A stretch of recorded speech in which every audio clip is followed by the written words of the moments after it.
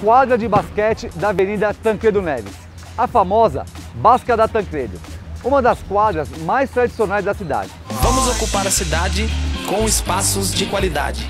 Durante o meu mandato, eu tenho apoiado muito a construção e manutenção de espaços como este. E sei do poder transformador da prática do esporte na vida dos jovens. O esporte direciona os jovens para o caminho do bem.